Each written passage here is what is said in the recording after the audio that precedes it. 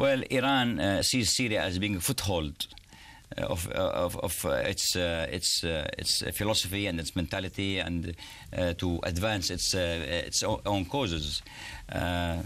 We have seen Iran interfering not only in Syria, but also in Lebanon, in Bahrain, in Yemen, and even Saudi Arabia. Uh, and we just had a delegation from Iran visiting Saudi Arabia, the head of intelligence.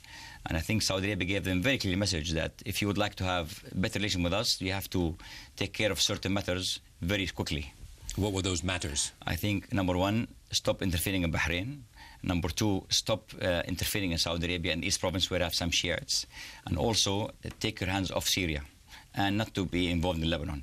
And I think the issue of Iraq was not brought up because we know that Maliki is, is, is completely uh, uh, pro Iran, unfortunately. There, there is also this, though. Uh, Syria was a conduit for Iran to supply weapons to Hezbollah. Oh, yes. So if Syria goes down, it will be not be in the interest of Iran. And Iran is the enemy of Saudi Arabia. Well, for sure. I mean, uh, Iran sees in Syria as having a strong foothold in the Levant, in the uh, west part of the Levant.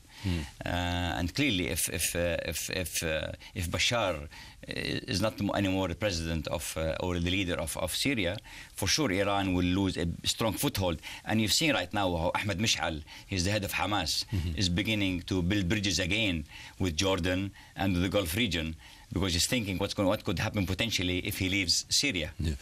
Uh, he's someone else that I've gone to Syria, to Damascus, to interview, uh, to Khalid Mashal. Yes. Where is he going, and what do you make of his sort of rumblings that he may leave Hamas? Well, that's what he said publicly.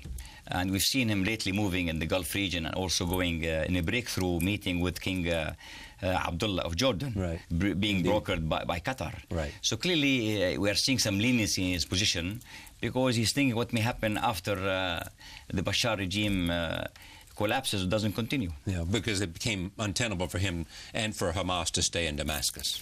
For sure, because uh, he's thinking what could happen uh, post uh, Bashar era. Yeah. Join us online at charlierose.com.